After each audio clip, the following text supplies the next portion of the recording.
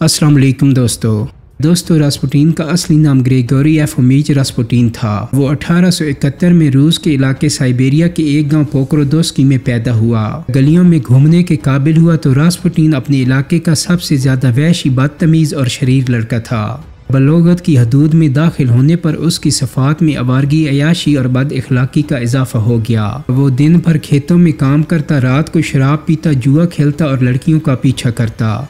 उन दिनों पोकर वोदोस्की में एक मेला मुनद हुआ करता था। इसी मेले में उसकी मुलाकात एक लड़की अस्कोदी फेडरोना से हुई। रास्पुटीन इस पर सौ जान से फिदा हो गया और आखिरकार रास्पुटीन की उससे शादी हो गई। लेकिन ये शादी भी उसकी आवारगी और अयाशी पर असरअंदाज ना हो सकी। वो शादी के बाद भी गाँव का अयाश तरीन नौजवान था। रास्पुटीन ने जवान होकर अपने आबाई पेशे को अपनाया। वो अपने बाप की तरह घोड़ा गाड़ी पर मुसाफरों और सामान को लेकर दूर दराज इलाकों में जाता। उसके साथ अक्सर स्याह और मजहबी मुबलिक भी सफ़र करते, जिनसे वो खुदा और कलीसा के मौजू पर ऐसे दलाल के साथ बहस करता के बड़े बड़े आलम मुँह तकते रह जाते। इनमें से अक्सर उसके मजहबी शूर को तस्लीम करते हुए उसे किसी दरसगाह में दाखिला लेने का मशवरा देते। इन्हीं मशवरों के जेर असर आखिर एक दिन रास्पुटीन दरखुद टोर की दरसगाह में दाखिल हो गया। उस वक्त उसकी उम्र तैतीस साल थी। दरखुद टोर की खानकाह के पैरोकारों को खलस्ती या खलास्ती कहा जाता था। इस दरसगाह में तालीम पाने वालों का अकीदा था कि इंसान कितना ही गुनागार क्यों ना हो जाए। खलास्ती फिरका के मखसूस जब्तों को अपनाने से दुनिया ही में जन्नत पा लेता है। इस फिरके का बानी डिनीला फलेज था जो ईसाइत का पैरोकार होने के बावजूद बहुत सी खुद साख्ता इबादत और मन घड़त नजरियात का ज़बरदस्त मुबलिक था।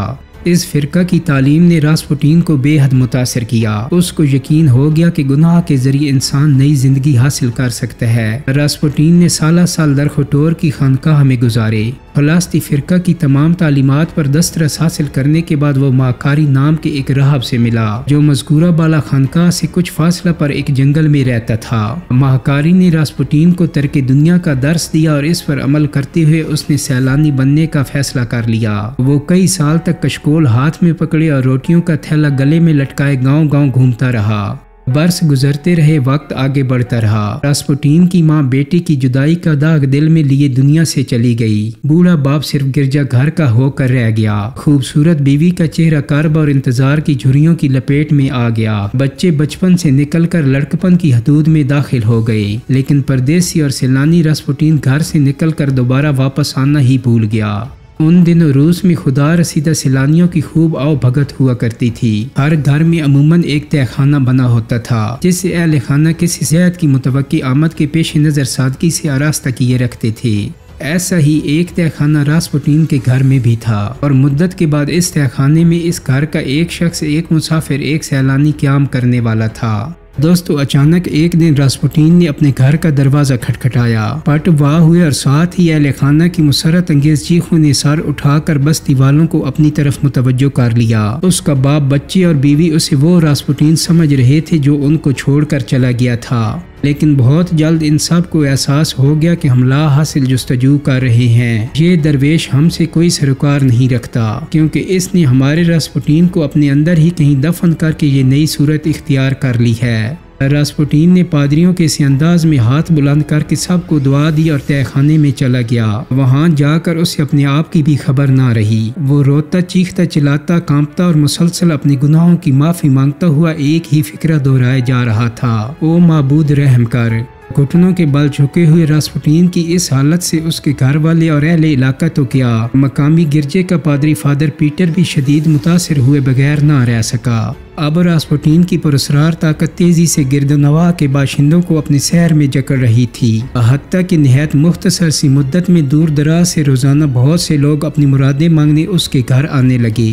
आहिस्ता आहिस्ता रासपुटीन की मावराई ताकतों, रूहानी करिश्म और वलायत के किसी रूस भर में मकबूल हो गए। लातादाद लोग पागलों की तरह इसके हाथ चूमते और कदमों में ढेर होते रहते। ये रोज़ का मामूल था और अब उसकी करामात के चर्चे गली कूचों से उठकर जार रूस के महल तक पहुँच चुके थे। इतफाक से उन दिनों जार रूस निकोलस दोम और जरीना एलेक्स जैसे सनशाइन के नाम से पुकारा जाता था। मुसलसल गमो अंदा और हवादस की जद में थे। जारीना यके बाद दिगरे चार लड़कियाँ पैदा कर चुकी थी। आखिरकार जब उसके यहाँ सल्तनत का वारिस शहजादा अलेक्सी पैदा हुआ तो वो हीमोफेलिया जैसे मुजी मर्ज का शिकार हो गया। इस खबर ने जार और जारीना को तड़पा कर रख दिया। बहुत इलाज हुए, मगर एलेक्सी दिन ब दिन कमज़ोर होता चला गया। दोस्तों, ये उन दिनों की बात है जब रासपुटिन सेंट पीटर्सबर्ग में था। हुआ यूँ कि पहले ही से बीमार और नईफ वलीद एलेक्सी खेलते हुए चोट लगने के बायस दाखिली जरियाने खून का शिकार हो गया। दर्द उसके नातवा बदन को चाटे जा रहा था और मुल्क भर के मालिज बेबस हो गए। कोई इलाज कारगर ना था और वली अहद की कमज़ोरी मौत की नकीब बनती चली जा रही थी। फादर फ्यूफान के ज़रिए रासपुटीन ने जारीना की दोस्त सन्नाटा के महल तक रसाई हासिल की। सन्नाटा ने जारीना से इसके पीरे कामिल का ज़िक्र किया। जारीना ने जार रूस निकोलस नोम से बात की और वो बेटे की ज़िंदगी में उम्मीद में इस बात पर तैयार हो गया कि रासपुटीन महल में आकर वली अहद का इलाज करे। रासपुटीन को खुफिया तौर पर बगली रास्ते से शाही महल में लाया गया। उसने जार और जारीना को बारी बारी गले लगाया और उनका एक एक बोसा लेकर बीमार वली अहद पर झुक गया। घबराओ मत, बिल्कुल तंदुरुस्त हो जाओगे। वली अहद अलेक्सी ने अजनबी की आवाज़ सुनी और फ़ौरन बेहोशी से होश में आकर मुस्कुराने लगा। ये पहली करामत थी। रासपुटीन ने उसके जिस्म पर हौले हौले हाथ फेरना शुरू किया। दर्द गायब हो गया। बच्चे की जर्दी माइल होंठ गुलाबी माइल होने लगे। ये दूसरी करामत थी। रासपुटीन ने उसे मुखातिब किया और कहने लगा, मैं तुम्हें नहीं जाने दूँगा, मुझसे बातें करो। ये तीसरी करामत थी। रासपुटीन बोला, मेरी दुआओं की ताकत पर यकीन रखो, तुम्हारा बच्चा ज़िंदा रहेगा। इसके बाद वो महल में आता रहा यहाँ तक कि हर कोई उसका आदि हो गया। वली अहद को उसके बगैर एक पल भी चैन नहीं आता था। यही हाल जारीना और जार का था, जो हर रात उसे बोसा देने जैसी नागवार, जहमत माज अपने बेटे के लिए उठाते थे। दोस्तों, हकीकत में तो वली अहद की रासपुटीन से दोस्ती ने उसे शाही कराने का ही एक रुकन बना दिया था। आहिस्ता आहिस्ता ये पुरस्कार पीर साहब के दिलो दिमाग पर छा गया। शहनशाह की लड़कियाँ उसे अपना राजदार समझती थीं। वो जार और जारीना से सख्त लहजे में बात करता। जार और जारीना के निजी कमरों का दरवाज़ा पाँव की ठोकर से खोलता और आदाब शाही का लिहाज किए बगैर मुखातिब करता।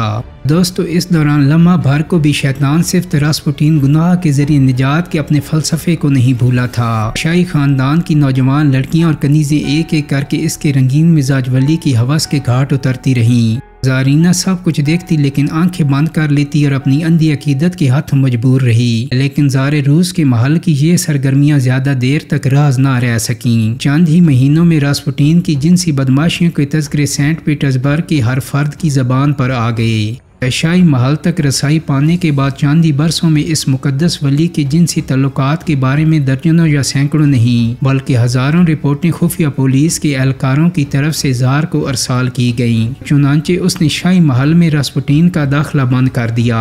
रासपुटीन के जाने के बाद जार अपने अहल खाना के साथ पोलैंड सैर व तफरी के लिए गया। वली ऐद अलेक्सी एक झील में कश्ती की सैर करने के बाद किनारे पर उतर रहा था कि पाँव फिसलने से गिर पड़ा और रीढ़ की हड्डी टूट गई। ज़यीफ़ुल एतकाद जारीना ने खुफिया तौर पर रासपुटीन को तार भेजा। जवाबी तार फ़ौरन आ गया। तार वली अहद को दिखाया गया तो उसका बुखार उतर गया। दर्द गायब हो गया और वो पहले जैसा तंदुरुस्त हो गया। दोस्तों, इस गैर मामूली वाक़ से जार इस कदर मुतासर हुआ कि तमाम तर मुखालफतों के बावजूद उसने रासपुटीन को वापस बुला लिया। इसके बाद एक और सख्त हादसे में वलीयत की जान रासपुटीन के करिश्मे से बची तो जार रासपुटीन को खुदा का सच्चा वली समझने लगा। अब सूरत हाल ये थी कि रासपुटीन की मुट्ठी में एक तरफ़ रूस की अजीम हुकूमत थी तो दूसरी तरफ़ शैतानियत के तमाम धंधे। मगर अपनी तमाम तर उबाशी के बावजूद रासपुटीन जंग से नफरत करता था। उसने 1912 में जार को जंग बलकान में शिरकत से बाज रखा और पूरी कोशिश की कि जार को पहली जंग अजीम में शिरकत से रोके। इन्हीं दिनों एक औरत ने रासपुटीन पर खंजर से कातलाना हमला किया, मगर वो बच गया। रासपुटीन के मना करने के बावजूद जार पहली जंग अजीम में उलझ चुका था और शिकस्त खा रहा था। ट्रू रशियन पार्टी ने इस मकार शख्स पर हमला कराया, मगर गोलियों की बौछार में भी वो महफूज रहा। इसके बाद हरमोगन और फादर फ्यूफान ने इस पर दो दफ़ा नाकाम हमले करवाए और नतीजे में दोनों को जला वतन होना पड़ा। दोस्तों, यही वो दो लोग थे जिन्हें सीढ़ी बनाकर रासपुटीन शाही महल तक पहुँचा था। अगरचे हमले नाकाम हो चुके थे, लेकिन इसका मतलब ये था कि दुश्मनों का घेरा तंग होता जा रहा है। और ये घेरा उस वक्त मजीद तंग हो गया जब रासपुटीन ने खुलेआम इस अमर की वकालत शुरू कर दी कि रूस को जर्मनी के साथ गुफ्त शनीद करके जंग खत्म कर देनी चाहिए। दोस्तों, इस मरहले पर एक खूबसूरत और नौ उमर रूसी अमीरजादे प्रिंस फ्लैक्स पोसोपोफ ने रूस को रासपुटीन जैसे शैतान के वजूद से पाक करने का मनसूबा बनाया। 16 दिसंबर 1916 की रात को प्रिंस ने रासपुटीन को अपने महल में दावत पर बुलाया। दावत का अहतमाम महल के तहखाना में एक कमरे में किया गया। रासपुटीन को शराब और केक पेश किया गया। शराब और केक में बड़ी मकदार में जहर मिलाया गया था, जो तकरीबन सात लोगों को मौत के घाट उतारने के लिए काफ़ी था। मगर रासपुटीन ना सिर्फ़ केक खा गया, बल्कि शराब भी पी गया और मरने के बजाय कुर्सी पर बैठकर मुस्कुराता हुआ प्रिंस से बातें करता रहा। प्रिंस उससे इजाज़त लेकर वापस अपने कमरे में मौजूद दोस्तों के पास गया और सारी सूरत हाल से आगाह किया और फैसला किया कि उसको सुबह होने से कबल मारने के लिए गोलियाँ मार दी जाएँ। चुनाचे प्रिंस वापस तहखाने में पहुँचा और रासपुटीन पर फायर खोल दिया, जिससे वो ज़मीन पर गिर गया कुछ देर के बाद जब प्रिंस ने उसको चेक करने के लिए कि आया ये मार चुका है, उसके करीब पहुंचकर उसे हिलाया तो रासपुटीन ने आँखें खोलकर प्रिंस को गिरबान से पकड़कर गालियाँ देना शुरू कर दी और झंझोड़ कर रख दिया। प्रिंस ने बामुश्किल खुद को इससे छुड़ाया और महल के अंदर भाग गया। जबकि रासपुटीन जख्मी हालत में तहखाने की सीढ़ियाँ चढ़कर लंगड़ाता हुआ दरवाज़ा खोल कर बाहर निकल गया। प्रिंस और उसके साथियों ने उसका पीछा करके उस पर मजीद गोलियाँ चलाईं। फिर उसे पकड़कर बिस्तर में लपेटा और वज़न से बाँध कर दरियाए मेका में फेंक दिया। चार दिन बाद रास्पुटीन की लाश दरिया नेवा से मिल गई और पोस्टमार्टम की रिपोर्ट से जो वजह मौत सामने आई वो जहर खानी से थी, न गोलियाँ लगने से, बल्कि पानी में डूबने से थी। और यूँ ये पुर इसरार किरदार मरते मरते भी दुनिया को हैरान परेशान छोड़ गया। दोस्तों, उम्मीद करता हूँ कि मेरी आज की वीडियो आपको पसंद आई होगी। अगर वीडियो अच्छी लगी है तो इसको लाइक और शेयर कर दें। मेरे चैनल को सब्सक्राइब करने के साथ साथ बेल आइकान को भी क्लिक कर दें ताकि आपको मेरी आने वाली मजीद वीडियोस के नोटिफिकेशन मिलते रहें। बहुत जल्द ही एक नई वीडियो के साथ मुलाकात होगी। अपना बहुत सारा ख्याल रखिएगा। अल्लाह हाफिज़।